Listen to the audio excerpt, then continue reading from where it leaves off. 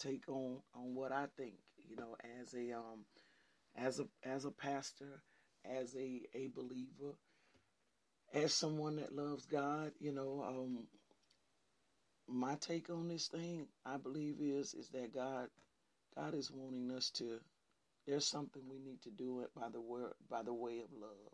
I, I really believe it's it's it's about love. If you, if you you know from what I've seen in the in the scriptures, and I'm going into Ecclesiastes nine just so y'all can be ready. But what I have seen by way of you know how God operates with things, and even when you look back to the biblical you know times of Noah them, what ended up happening was what brought the destruction was the fact that they they wouldn't quit you know, they were steady doing things in, in, in unrighteous. Let's, let's just put that word on it. Unrighteous, you know. There was so much unrighteousness that was going on that it literally caused uh, a judgment to come upon upon the earth. And you think about when um when the Lord sent the plagues, the plagues was due to you know the fact of him sending a word of instruction, you know, unto unto Pharaoh to say, "Hey, let the people let the people go." Okay, you're not gonna let them go. Well, then these things right here are going to happen. So I really believe, and I don't, I don't think that there's anything wrong with us exploring the fact to see that could this be because there's something about you know there's something by way of love that we need to fix. If um if you're in, you know, think about yourself. If you're in tremendous amount of pain, you know, you're sick or whatever the case may be, and you just want, you know, and they say, well, I don't know what's going on with you. You know what I'm saying? We we don't. It's no. We we can try this or we can try that. Nine times out of ten, you're going to be willing to try it because of the simple fact you're looking for that breakthrough. You're looking for whatever that answer is. You know, you you want that. So, what is the harm in us trying it? What is the harm in us, you know, saying that, hey, listen, what the world needs is love. That's what we've been crying. That's what we've been screaming. That's what the world needs. So what's wrong with us, you know, saying we need to love more? We we we have um I don't think that we really understand forgiveness um, at the capacity that we should. I think that's a, a, hindrance for us. This is these are my takes on on what I believe as a as a as a pastor, as an intercessor. These are the things that I am praying about. You know, these are the things that I am actually praying about. I believe that we do not understand forgiveness as we should. We think that, you know, because if I start back talking to you after something has happened, that that means I've forgiven you. No, it doesn't. We um we think that if I just ignore it, that that means that I've forgiven it. No, it doesn't. No, it doesn't. And so wherever there is a struggle with unforgiveness, there's going to be a struggle with love. And so I really believe that that is a a a big major part of things because the world breeds hurt. You know, I don't know whether y'all are aware or, pay, or paid attention to this or not, but the world breeds hurt. And when I say it breeds hurt, what I mean is John 16 33 says, In this life, you're going to have tribulations. So there's going to be some challenging things. I'm going to Ecclesiastes chapter 9. If you want to go ahead and prepare yourself to go there. There's going to be some challenging things, he says. There's going to be some times when you're hurt. There's going to be some times when you're going to cause hurt. So, because of that, because there's going to be these things, then there's going to be something that we have to all deal with called forgiveness. So, being that that is what's going to happen and that is so, then that is a vital part of us, of our life, of our makeup. I believe, I, I really believe, I'm wholeheartedly sold. If you ask me, the things that I am sold on. I am sold on winning in life. That's one. I'm going to talk big. I'm going to talk big about winning in life because I, I really believe we need to win in life. But how do we win in life? I believe forgiveness is a major vital part of winning in life. I do. I believe it is. I believe obedience is a vital part of us winning in life. I believe that giving is a vital part of us winning in life. I believe that healing is a vital part of us winning in life. But in these areas, among a few more that I just called out, are things that I look at the world and I see us as a people having some of the greatest struggles with. We have some of the greatest struggles with. Literally, have seen people that have considered to be good hearted people, but deep down inside, there is some type of root of unforgiveness. There is something that has happened that has brought about a pain that has not been released. So I believe that the Lord is reaching to the world in order to bring us to a place where there is forgiveness. Because when there is forgiveness, there is healing. If you look at what Jesus did when the situation came about for him to go to the cross, one of the things he said that was so vital, he said, Father, forgive them. See, forgive them. It's like in order for what I've got to do to be effective, I've got to have forgiveness. So, Father, forgive them, he says, for they know not what they do. Now, that is the hardest and can be one of the hardest things to do. And in the capacity of, there's two parts in that. He said, forgive them. That is that that's you know, that's a situation there. But then he turns and says, For they know not what they do. Well, in our minds, we have been conditioned to think that everybody knows what they're doing when they do something. And we, that's just what, well, you a lie. You know what you were doing. You knew what you were doing. That is what we think. So it is hard for us as people to believe that there is, that people cannot know what they're doing. But there is a such thing as being under an element of influence. That's a whole nother thing when I, you know, I have to teach about deliverance to help y'all with that. But there is a whole different thing about being under the in being under the influence.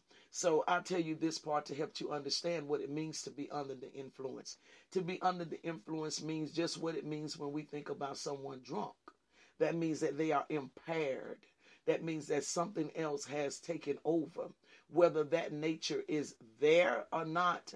Hey, sister, whether that nature is there or not, or that desire to do that is there or not, there still had to be something to push them to act out in that or to manifest in that. So that is under the influence.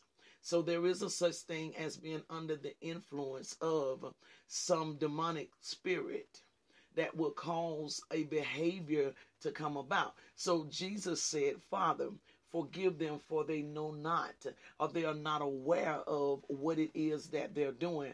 They they is they're not appreciative, so to speak. That that's a whole nother realm of it too. Is they're not they're not aware. They they cannot see. They they they're not focused in enough, so they're not appreciative of what is been what has been placed in their midst. So forgive them for they know not what they do. Then you go into the book of Acts and it says, had they, if they had a known, they would not have crucified the Lord of glory. And so then now there is this element again of forgiveness. And I believe that that is a major thing of what is going on as to reason, as the reason why. How about if we was all to literally just examine ourselves, just me taking Delphine, me not worrying about anybody else, me not caring, you know, and, and about somebody else's business, but me just caring about myself and just took inventory of myself and really looked at, I'm 46 years old and re- is it 46 or 47? I don't forget. I, I think I'm 46 y'all and really just looked at me and said, okay, take inventory of your life and where you have been in the 46 years. Just take inventory of that and look at everything that has happened to you and really see have you healed from that. Okay, so you were born February 1st, 1975. Okay, All right. So in that time of span, what are some things that you know that has happened to you? Well, you do realize that when you were five years old, you were fondled by your mom's boyfriend. Did you heal from that? Did you heal from that? And if if if so, how do you know you healed from that, Delphine? What did you do in order for healing to come about from that? Okay, or did you just not pay that any attention because that happened to you as a child and then you grew up into an adult? So you just went on with your life. Did you really take time to think about what that done to you? How did that make you feel? What did that bring about? So have you really healed from that? Did you really forgive him for that because you were aware of who he was and the fact that he did that? So did you really forgive? Mm, okay, then travel a little bit more. Now, this is me. If we would just take inventory, I believe, of our lives and look at things that has happened. There are some of you that had, you know, uh, people to to take advantage of you. There are some of you that uh, were in love, but love was not reciprocated back to you. That caused pain to you. There were some of you that have been betrayed. There are some of you that your parents did not take care of you. Someone else had to raise you. Have you just taken time to really go back into your life and see have you really healed from that? Have you just really checked to see did you really get free from that? Because a lot of times we'll think that we're free from things, but really all we've done is just push that stuff over in a corner and we have not dealt with it because there are very few things that we were taught to deal with. We were always taught, girl, just shut up and go on. Don't you sit there crying about that. You just got to keep moving on. You just got to keep going. And yes, that is true in a certain essence, but you also have to move on in freedom. That's what we need to be taught how to move on in freedom. We have not been taught how to move on, Delphine. You're going to do this this morning. I'm going to do every bit of it, y'all. We have not been taught to move on in freedom. We've been taught to move on or to pretend as though we have moved on, but we haven't been taught to move on in freedom. I am so serious this morning. How many of you have literally taken the time to just look back over what you have gone through, have literally just taken the time and not ran from your past. You haven't ran from what has happened. You haven't just brushed it under the rug, threw it in the corner, put it over in the closet, but you have really literally dealt with that situation. You've literally allowed yourself to go visit that place to say, Give me myself back from this right here. Give me my peace back. You're not having that anymore. I'm not going to live isolated. I'm not going to live as though everybody is going to hurt me because of what this right here did. How many of you have literally gone and allowed yourself to heal. I believe, now listen, this is, that. look, check this out. I really believe this is me. This is what I have been praying. I'm telling y'all, I'm letting y'all in my personal world, my private world of what I have been spending time with God as it relates to believing because I believe that that is a lot of what is going on. When you have not healed from things, when you have not released things, then it causes sickness to come upon you. It causes things to happen when there is bitterness. The Bible talks about bitterness uh, getting inside of the bones, uh, which literally means that it has been studies that have been shown that people that have severe arthritis, uh, that there have that there have been instances that has happened in their life that has caused them to be bitter about some things, and it literally gets into the bone. And we understand also that fear paralyzes, and because fear paralyzes or fear puts you in a grip as to where you cannot move, then that means that you're not free. So, literally, I believe that that is a lot of what's going on with us, that that is a lot of what's happening with us as a people, and that is the reason why they are literally trying to find avenues of how to remove certain things, how healing for this and healing for that. Well, a lot of it is because we are not healed as individuals. We are not healed as individuals. We are yet holding on to some things. We are yet Oh God, we are yet call, Father, help me this morning. We are yet caught up in the midst still of some things that has happened. We haven't just released it. We haven't just really let it go. Some of some of us are under the impression that if we let it go, that means that we're weak if we let it go, then that means that I'm saying that it's okay what they did.